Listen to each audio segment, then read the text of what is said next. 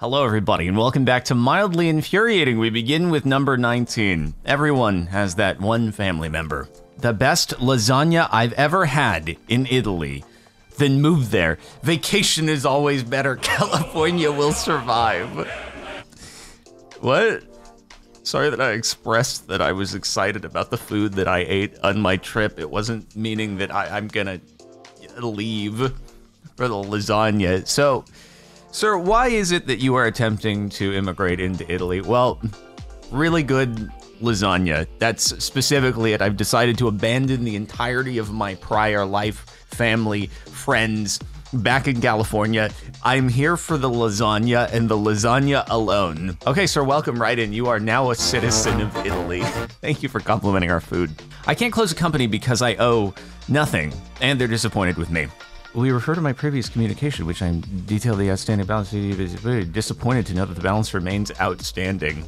We're very disappointed to note that uh, you don't owe us anything. That's actually why we're disappointed. We were hoping we could collect some money from you, but we can't figure out a way to make it look like you owe us money, but we'd like for you to owe us money, but you actually don't owe us anything. But we're still disappointed that you don't actually need to give us money. Dealing with like corporations and taxes and stuff is, is really frustrating. One of the biggest wastes of money I ever did was I made an LLC for the sake of trying to have some privacy and buying my old house. That didn't work at all. Like articles came out in the first couple of weeks. That was great. I still had to pay the California minimum tax of $800 every year because the LLC owned the house and that was like the mortgage and everything like that. So I couldn't just dissolve the company and stop paying it, even though the privacy thing didn't work out. I had to just, for eight years, keep paying it. I've now sold the house. The biggest waste of money didn't turn out to be the LLC. It turned out to be the amount of money I lost on the house. but aside from that, it still adds insult to injury. Freaking corporations.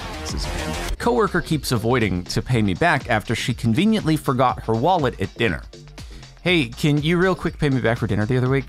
Hey girl, sure thing. I get paid next week. I'll be sure to hit you up then. I'm not trying to be rude, but you've been saying that for over three weeks now, so uh, you know. All right, and you're just gonna stalk me every day? Thought you were better than that. I can't believe you actually want the money back. I was just gonna say this forever and ever and ever until you dropped it, but now that you actually really want the money back, you're a terrible person. You ever thought about how terrible you are? I'm literally just asking for you to pay me back. I already told you I will. This short is pissing me off, and I'm done talking to you.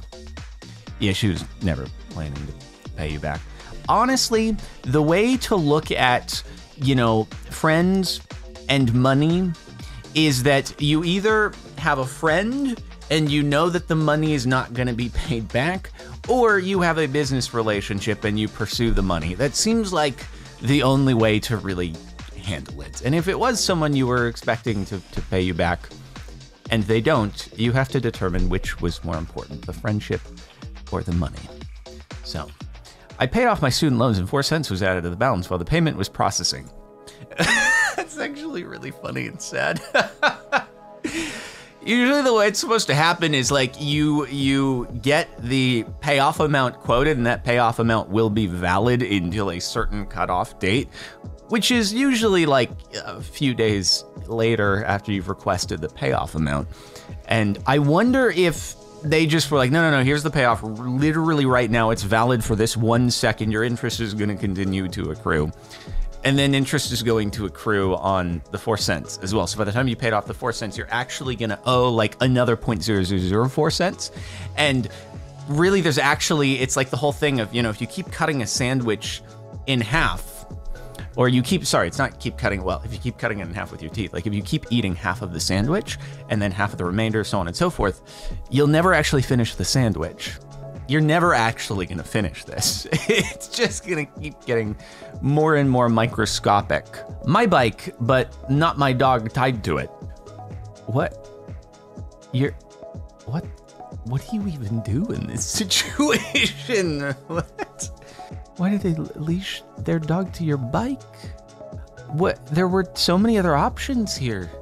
Did they did they wrap it around? Hold on, I gotta get that. We gotta zoom in. Enhance. Oh, thank goodness, enhance sometimes actually works. So they did loop it around the Wait, no, they didn't. Hold on. I can't tell. Oh, yeah, yeah, okay. So this is part of the thing you're locking your bike to. So they looped the leash around the thing, but they also looped it around your bike. In fact, there was no way that this was to happen without your bike being entangled in this mess because they were, even if they wrapped it around here, they would have gone through the opening in your bike and you would have had to like take your bike and pull it over the dog, which wasn't to happen. Uh, I guess just undo the leash, Hope the dog is friendly. Why does the dog look like it's not having a good time? And I'm really sad about this whole thing. This is not good. Okay, so anyway, my boy's Z got stolen. Can we enhance, please? Okay, okay, it's a it's a Nissan 350Z. I was like I was reading the thing at first, and I thought it was like a parent saying that their their their their child, their boys, like something got stolen. But I think it's like a it's a friend a friend, their friend's Nissan 350Z got stolen, which is it's just pretty lame. Why do I have to click the thing? This is mildly infuriating. I click on the post, and it takes me to the post, but the image is cut off, so I have to click see full size image, and then it opens a new tab where it then shows me the full size image, but now I can't go to the next image. I have to go back to the other page and then click this way where it's then gonna be cut off, where I then have to click the thing again, which opens up a new tab, which doesn't let me scroll back and forth. Why are we, this is mildly infuriating. Why are you making me do this, Reddit? What are you doing? Okay, so here we have the before picture, and then we have, I mean, it's impressive that you actually just found the listings for the chopped up car parts. I, how did you manage to track that down? That's really impressive, but yeah, that is, uh, this, this is not exactly mildly infuriating. This is more, um, seriously criminal. So yeah, I don't I don't really agree with the the mildly infuriating is like somebody parked too close to me. More than that is somebody stole my car and is now attempting to sell the parts. That's a bit beyond the I think very justifyingly ang- angry. And mildly infuriating is the tabs being stupid in Reddit. Extreme anger is my car got stolen. Me, clown. Week 6 activity assignment. How are you able to answer the question about the office when the video is not available? You should not be getting answers from previous semesters or students. I hope this is not a regular thing. You, what, wait, what? Are you like a, wait. Hold on. Hold on. Is this like uh is this an entrapment question?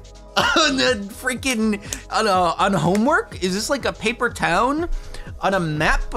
Like freaking I don't know if you know what a paper town is. It's map companies in order to know if another company was plagiarizing them rather than actually developing the map themselves. They would put a fake paper town onto their map. And if they saw that made up fake paper town occur on another brand's map, they would know that it was actually just plagiarized. Was this like a, an same sort of thing? Like it was an entrapment question where where they actually weren't able to provide you with the data that you needed in order to see if the person actually answered based on another person's work or something, and that person had all the information? Did you actually? Did you actually cheat? I'm super confused. Like, is it mildly infuriating that they did this in the homework, which is kind of petty?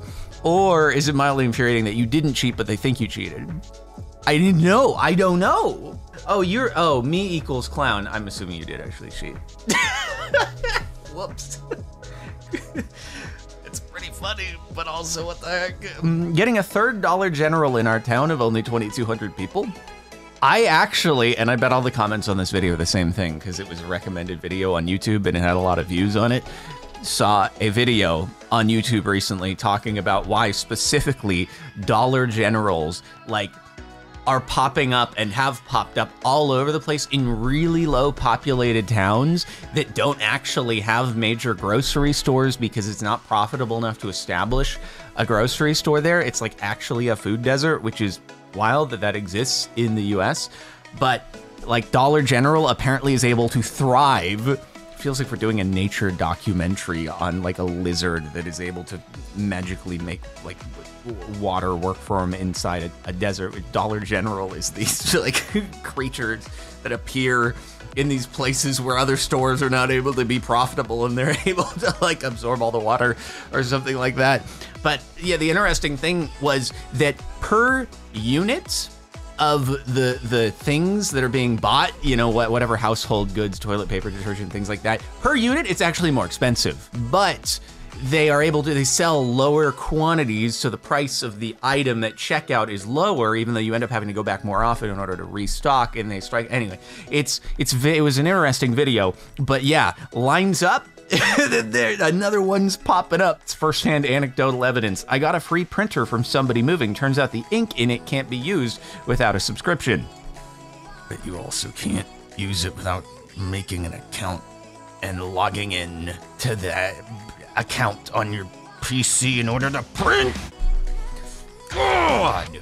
Sorry, it's the it's the classic Jordan printing rant. I didn't I like what can't cartridge cannot be installed unless the printer is enrolled. But why? Why?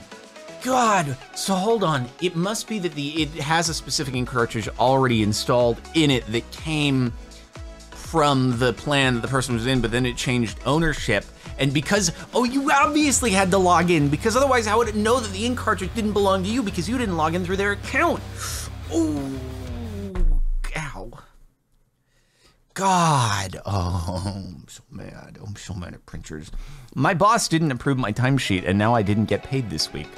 Uh, sorry to bother you, but you still haven't approved my timesheets yet. I know I'm on vacation. I understand.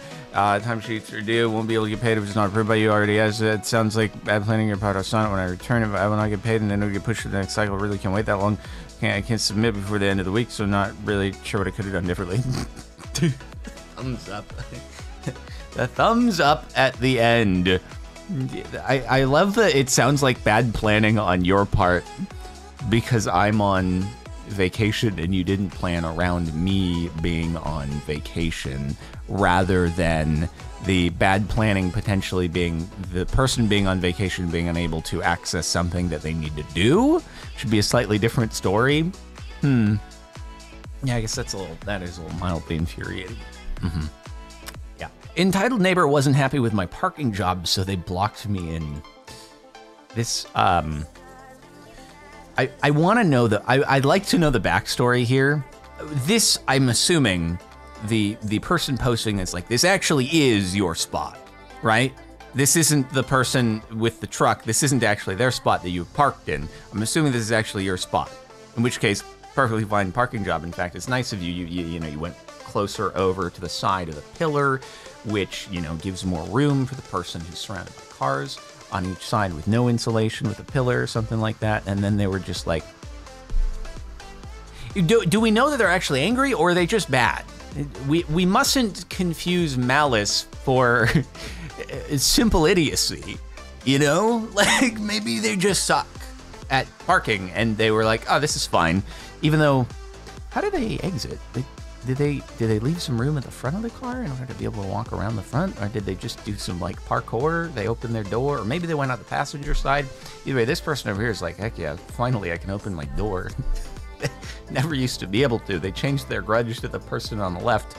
I could use more info. But anyway, this company absolutely butchered our pen order. Instead of following the instructions in our conversation, they just printed the instructions right on the pens.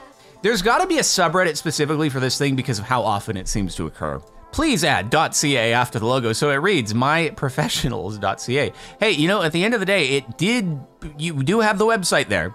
It just came with a few extra steps. I do feel like a situation like this, you would probably be able to, you know, contact support on the website and be like, yeah, you guys did the thing where you add the, there should be, there's got to be a name for this. Into, and the, therefore it'd be the name of the subreddit. But name for this in design where the notes are added as actual text on the product. And if there isn't, there should be a name created for this. And and then you should just be able to like have that as an option in customer support. Like hit that button, and then everything is solved. I bought this palette specifically for the blue middle shade. Why does it look like mold in the thumbnail? Bro, I'm ruined by the by all the mold posts and like, well, that sucks and stuff. Everything's just like mold when it's zoomed out in the freaking thumbnail. Oh. Oh. Oh. Why would you do that? What the frick? Bro, it just like it looks everything looks blue or shade of blue or maybe a little silver in there and you're just like that's not what I bought. uh, what? I feel like there needs to be like a, a note on there. Open me before you buy, just to make sure that you're you know what you're buying because it doesn't look like with the lid on it, or change the packaging. One way or the other. Surprise, mystery makeup unboxing. My $400 baby monitor has locked previously free features behind a monthly subscription. Um, okay, what do we innovative innovative health monitor. Why does this read like a lawsuit kind of? Oh, because it's a like press release acquisition. Uh, acquisition by Innovative Health Monitoring and implementation of subscription services. I still can't see the full freaking thing because it's mm, you. God, I have to click into the new. I have to go over, click, go into the new tab, then click back, go into the new tab, click. Ooh, we're watching live mildly infuriating strike again. Subscription membership at $10 per month. All the things that you bought this for initially, now you don't have because you have to pay. We know that you paid $400 for this, but now you have to pay another uh, 30% of the price every year in order to do the things that you thought you had, but you don't have now because it's not the same company. We acquired them, so you can't get mad because we're actually new people. That, yeah, that's, uh, huh. I didn't know you could do that, but I suppose you can do that. But it doesn't seem like a good practice. Seems like a good way to alienate customers. That's like pretty expensive versus it's like 30 th- after 3 years you just buy a new thing. I mean, I understand that security things like they charge you and maybe it was just very nice of them before to to have like 24/7 video recording uploading to the cloud free of charge would be pretty swick. I'd be all over that. Um, but yeah, it's kind of it's not not not cool to have it revoked. She's 27 and she pretty much stopped talking to me after this. Hi Daniela, this is David from Hinge. Hi there. Oh no, an Android? You you're right. You caught me. I'm I'm actually a bot. I like dang, man. I thought finally me a, uh, an android finally, you know, get some love like Dragon Ball Z or something like that. But but no, I guess this I guess it's just not going to work out. And it's really heartbreaking. Oh, okay. Anyway, actually though, this I, I is this a real thing? Does this really happen? Is this real? Because you could obviously like fake this very easily. But is it a real thing? Do people actually have a weird aversion to ooh it's not iMessage. I'm sorry I can't communicate with you. This is just not gonna work. Is that a is that a real thing? Because honestly from the other end of it if this is real I mean it just seems like a good way to weed out someone new you might not get along with for other reasons. Bit of a red flag right there. Like you're gonna it's really like the the you're willing to just write me off because of the brand of cell phone. The operating system. It's kind of weird but thank you for letting me know about this before we got too far along and it got even weirder for other reasons who knows. So okay. Um goodbye i guess. Now let me close out all these other tabs that are still up here from the last post. My classroom after a preschool tantrum. Jeez bro. Oh my god.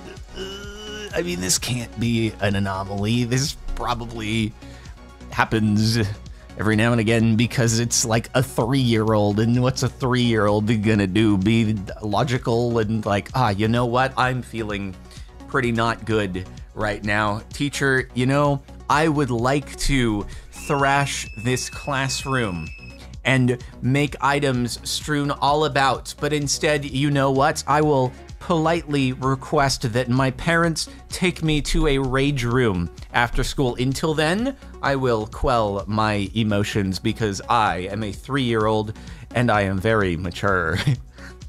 this is a realistic scenario to have play out. Oh, God, dude. I mean, you know what?